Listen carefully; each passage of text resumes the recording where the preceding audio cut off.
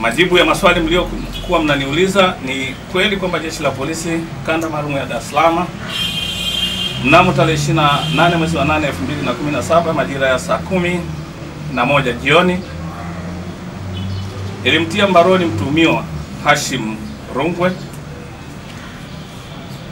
e, kwa kosa la kujipatia fedha kwa njia ya udanganyifu.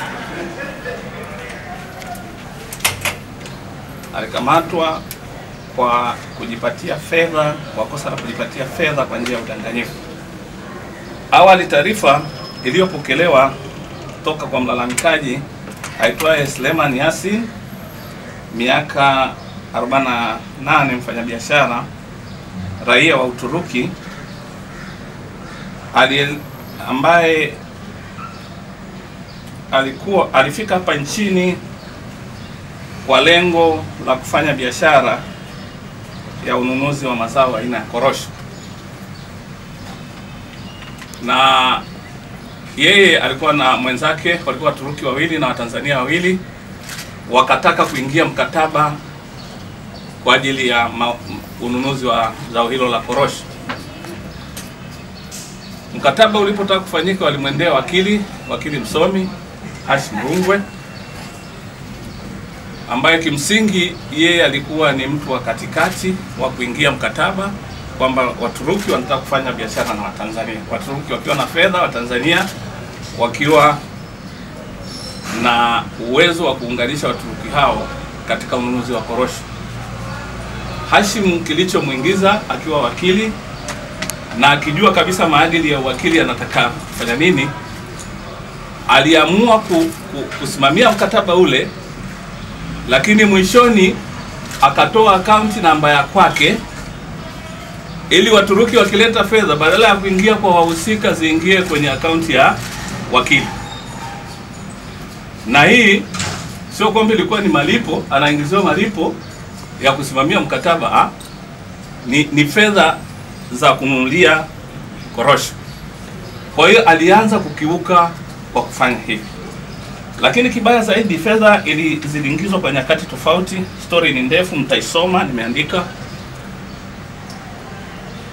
Awamu ya kwanza Waturuki walivyoleta hizo fedha, wao waliendelea na kawaida, wakijua kwamba mkataba uko sawa mbele ya wakili na fedha ziko salama kwenye hiyo akaunti. Wakaja kuulizia kwamba bana za, nani awamu ya kwanza ya ununuzi wa korosho vipi, umekamilisha? Akasema ni nimekamilisha, umekamilika, lakini korosho iko Mtwara, niongezee pesa kiasi kingine kama shilingi dola elfu moja ili niende kuthibitisha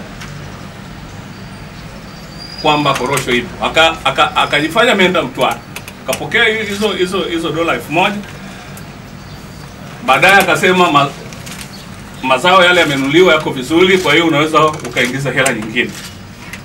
Kwa hiyo katika katika hali hiyo akaendelea kumthibitishia kuwathibitishia Waturuki kwamba pesa, pesa zimenunua korosho, lakini baadaye ilikuja kuthibitika kwamba manunuzi ya kwenda sawa, pamoja na kwamba alikuwa ametoa taarifa ya uongo kwamba mazao yamenunuliwa. Wakaja kumwomba Mturuki kwamba tunaomba utubadilishie, badala ya kununua korosho, si tukunulie ufuta. Mturuki akasema sawa, niko tayari kufanya hivyo. Zikatumwa pesa nyingine. Kwa hiyo katika utapeli huu na mtiririko wote huu mtaisoma vizuri, ni zaidi ya milioni sabini ya T-shilling ambazo zimeingia kupitia akaunti ya wakili, akiwa mtu ambaye ana dhamana ya kusimamia wanaoandikiana mkataba, lakini ye mwenyewe amekuwa anazipokea hizo pesa na pesa hizo zimetoweka bila bila kununua uh, korosho iliyokuwa imekusudiwa kununuliwa na na hao hao Waturuki. Kwa hiyo tulikuwa tunamshikilia kwa makosa aliyoyafanya, na katika hili nasema, narudia tena kwamba hatukumshikilia mgombea urais. Hatuna hatuna kipindi cha kampeni. Waandishi wakati fulani mwe mna mnaweka mambo vizuri, wanapowauliza semeni tu kwamba aliyekamatwa ni mhalifu na sio vinginevyo. Sisi hatukamati mgombea, hatukamati mwanasiasa, tunakamata mhalifu kwa makosa aliyoyatenda. Na Hashim Rungwe alikuwa ameshikiliwa kwa sababu ya utapeli na na kujipatia fedha hizi nyingi kinyume cha sheria.